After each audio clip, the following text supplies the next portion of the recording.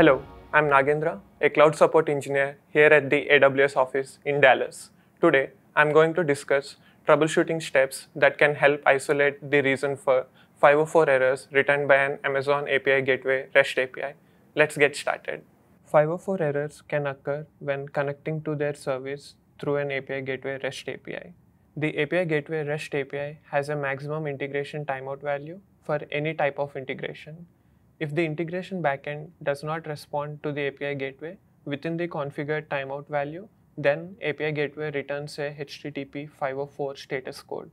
The maximum integration timeout value for the API gateway REST API is 29 seconds, which is also the default value. To understand the reason for the 504 errors, let's first confirm where the request is getting timed out. To identify the source of the error, we will use API Gateway CloudWatch logs. To do this, we must first enable the Amazon CloudWatch logs on the API stage.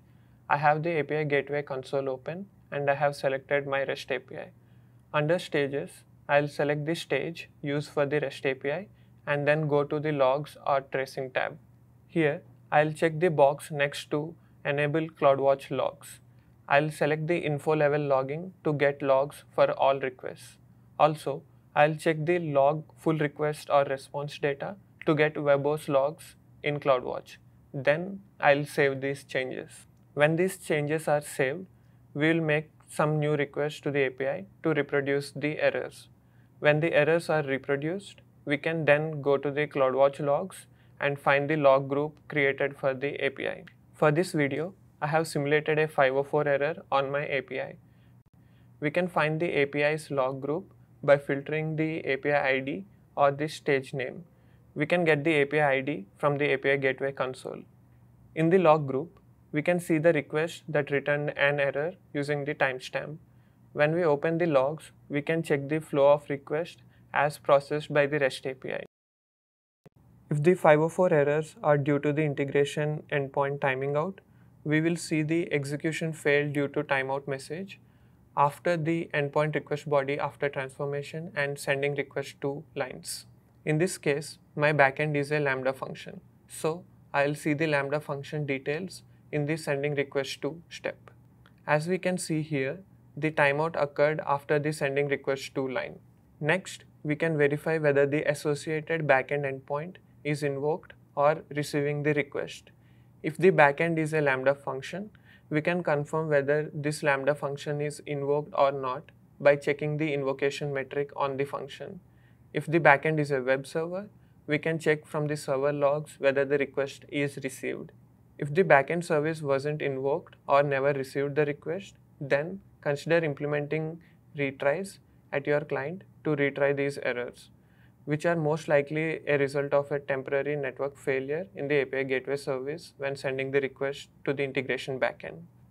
If the backend service receives the request but can't complete processing or not returning a response within the API gateway integration timeout value, you can consider these options to help reduce the processing time.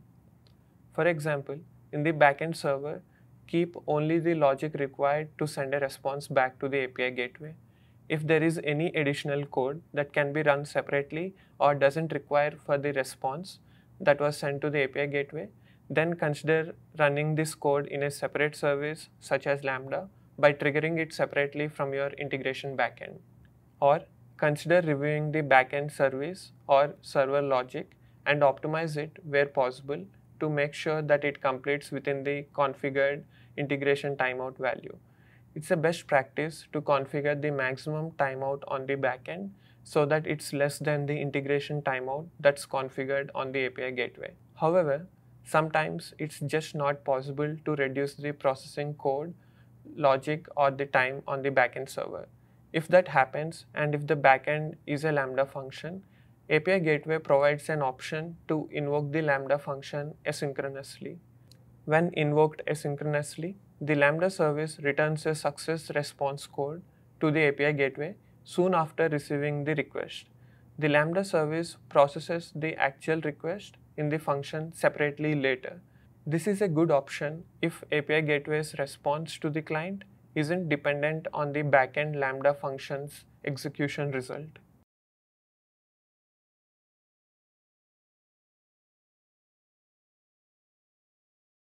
To invoke a Lambda function asynchronously, we will set a custom header xamg invocation type with value set to event in the integration request configuration.